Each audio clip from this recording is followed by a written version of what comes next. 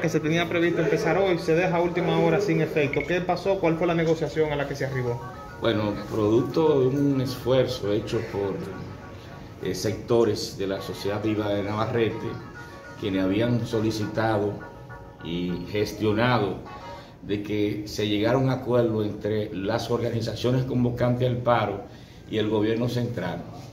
Desde el pasado eh, jueves 5 se ha estado en conversación con una comisión designada por el presidente de la República.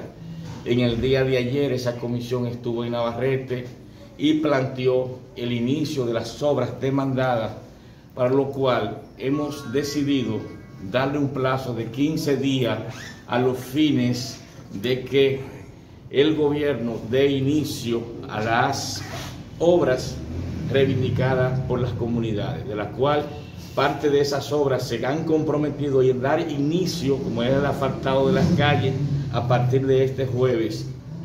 Se han comprometido en la conclusión del acueducto de que dé supla eh, agua a todo el municipio de Navarrete, así como la intervención del hospital municipal que desde hoy ha comenzado a sentir su efecto en la intervención, ya que la estructura física de donde se aloja el hospital está sumamente deteriorada, así como otras importantes reivindicaciones con las cuales el gobierno se ha comprometido, razón por la cual hemos entendido la posibilidad de darle un plazo de 15 días para ver iniciadas esas obras. De no ser iniciadas como se han comprometido, y en la tarde de hoy hay la firma de un documento de compromiso, en 15 días estas comunidades estarían nuevamente convocando paralizaciones y huelgas en el municipio de Navarrete. ¿Cuáles autoridades del gobierno participaron de ese proceso de diálogo?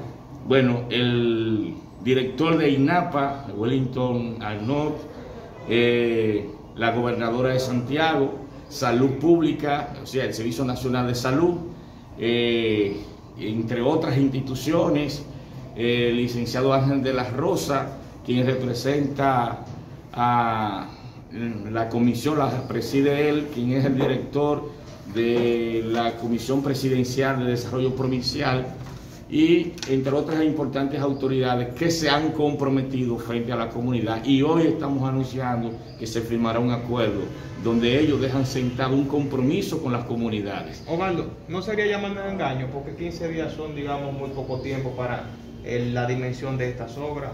Pero 15 días son suficientes si hay la voluntad política de dar inicio a las obras. Primero porque no son obras nuevas y son altamente conocidas por las autoridades. El asfaltado de las calles, eh, tienen todos los presupuestos y todas las... Si hay voluntad, se pueden iniciar perfectamente en los próximos días la construcción de las obras.